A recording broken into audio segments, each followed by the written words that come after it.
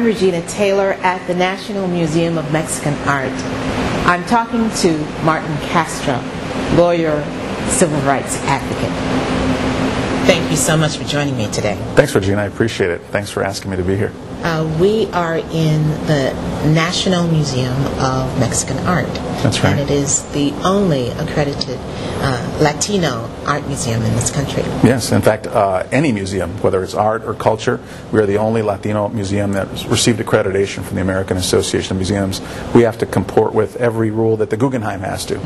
and so we're very proud of that. Can you talk to me about One Voice museums? Sure. Like our museum, uh, One Voice museums are those organizations, uh, whether it's in our case an art museum, whether it's a historical museum, that tells a community's story from our own voice, not filtered by another culture, especially the dominant culture, but saying to others, here's what we view our culture, our art, our music, our history to be. Sharing it not only with our children and their children's children, but with our allies, those who want to learn about our community and support our community and be uh, partners with us. Now, you started off wanting to be an astronaut. That's right. like I think many kids, particularly many uh, kids of my generation, we uh, grew up seeing the uh, the moon landings, and we saw the uh, Mars, the first uh, you know, rovers on Mars, and it inspired me mm. that there was more to the world than just the four corners of my neighborhood. Right. And to that, be an explorer. To be an explorer. To be, again, one of the first, because at the time there were yes. no Latino or Latina astronauts. Right. And so my desire was not only to be an astronaut, but be the first Hispanic astronaut. Mm-hmm. And so I was very serious about it. I wanted to go to the Air Force Academy, and I had my whole future planned out. And as a young boy, I had a, an injury that put me on bed rest for about you know, a year. And in that time, I was, this is before email and before you know, all, those, all these things that we take for granted now. So I would write letters to astronauts, uh, literally to NASA, and they would send me photos and information. And so I learned and read as much as I could, and that was my plan. Uh, when I was uh, about 16 years old, my dad, who was a social worker, decided he was going to run for political office. He ran for Democratic Ward Committeeman. Mm-hmm. And during his campaign, I was a volunteer. I did everything from helping him collect campaign dollars to being the gopher at the office, whatever was needed. I wanted to help my dad get elected. But in that process, we also did some campaigning around the city because it was very unique for a Latino to be running for that position. Mm-hmm. And I saw that a lot of the people that had their hands on the reins of power in Chicago, people that were making decisions affecting the lives of my family and friends and community in South Chicago, didn't come from my neighborhood. They didn't look like me. Uh, they did not understand my community, and many of them were lawyers. Mm-hmm. And so I looked up where did these folks go, and I, I saw, oh, there's a lawyer from DePaul, there's another lawyer, lawyer from Loyola, and they're judges, and right. and even the mayor at the time. I thought that's what I want to do. Mm-hmm. I want to go to law school because I want to be in a position one day to try to affect positive change on my community.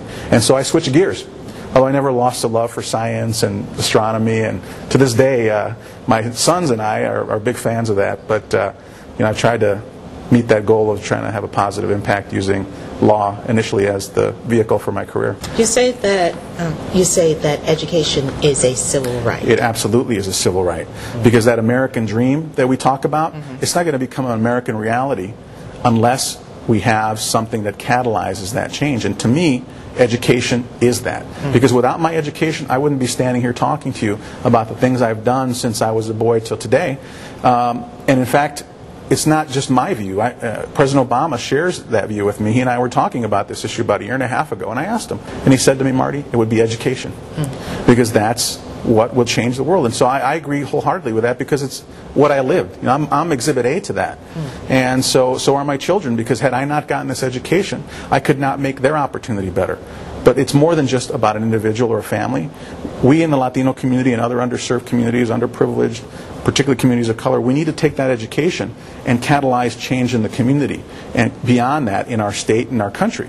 Because education is a game changer. And to me, that's there's no other thing that can make the profound difference um, generationally, individually, and that's why we started New Futuro, was to use not only examples of success stories in our Latino community, those of us who by leaps of faith made it where we are today, mm-hmm. but to take technology and marry it to that and be able to reach students in an unprecedented way. How so? Well, I and those that came before me, you know, we're able to transfer our social capital individual at a time. Or maybe if we're lucky to go to a school and talk, you might reach 50 kids at a time. Mm-hmm. And maybe if you're lucky, you might even change the lives of one or two of those kids.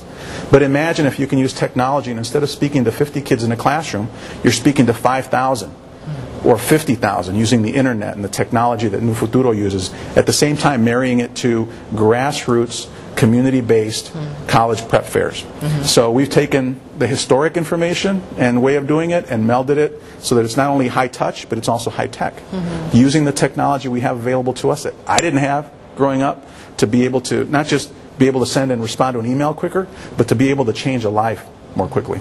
Uh, so keeping it very hands-on, keeping it about uh, one's legacy, about the, the history, and, and marrying it to the present and the future. Yes, absolutely. And that's something that I think if you, we walk around this museum, you'll see. We have, as we walk through here, you'll see history and culture, but it's all connected. We have the Aztecs here, and we go all the way to the present day. And that is, every one of those steps is who we are as a Mexican and Mexican American community. And that story is something that we replicate today and we replicate in different areas, whether it's education, politics, business. Uh, we stand on the shoulders of those that came before us. Yes. And luckily in our community, many of those that came before us built the path for us to take the next step. Wonderful. Well, let's Me. walk. Sure. Can you tell me about this work? I can't believe Sure. it's made of paper mache. Yeah, believe it or not, a gold uh, painted paper mache. You know, piñatas are also made of paper mache, but this is clearly uh, taking that art to a new level. And it represents both the clash as well as the ultimate melding of the two cultures, uh, actually really multiple cultures when you look at the various indigenous cultures that made up Mexico when it was discovered uh, by the Europeans. But the, the cultural clash of those two larger cultures into what is now the Mexican and Mexican American culture. So here, you know, we begin with uh, Ferdinand and Isabel, the uh, Spanish monarchs who told uh, Columbus to go discover. And so you'll see the progression to the uh, indigenous peoples as well as what ended up happening in terms of melding both of the cultures. So you have the Europeans who came to conquer and to, to take our gold as well as to impart Catholicism and Christianity uh, to the New World. But we already had our own religion and our own cultures here. We had the Mayans and the Aztecs and the Toltecs and the Incas and the Olmecs. And those two cultures came together both violently as well as ultimately in a way, in a way that was very complementary to one another. We see uh, Jesus hanging on not a cross, but on Cuauhtémoc, the mother goddess of the Aztecs. She was the creator goddess. And yet here we have the Christianity and Catholicism overlaid on that. And the primary uh, goddess of the Aztecs was Tonantzin, and that is uh, something that the uh, Spaniards used to convert uh, uh, the Aztecs and the Mayans to Catholicism by taking Tonantzin and her, her temple and building onto that the Church of the Virgin Mary, in this case, the Virgen de Guadalupe. So they made her look dark like the indigenous people. And to us, she's the mother of the Americas. Yet you see in her, we see in her, both the European as well as our, our indigenous ancestry. And so here you have both of those coming together, but you also see some of the violent clashes that led to that. The Aztecs fighting the Spaniards and literally living and dying together. You see the basically slavery that existed in new colonial Mexico, yet you see here also the culture of the Aztecs. They discovered Tenochtitlan. The, the mythology is that they found an eagle on a cactus, and that's where they built the great city of Mexico. That was one of the most incredible facilities, both physically as well as intellectually compared to some of the European cities when they, they were discovered by the Europeans. They had teaching and learning and culture and history and agriculture, all of that here. So it wasn't some um, a tribe that had been lost in the wilderness. This was a very evolved and complex culture, which merged with this very complex culture to create who we are today as Mexicans and Mexican Americans. So that's all embodied in this uh, small and beautiful piece of art.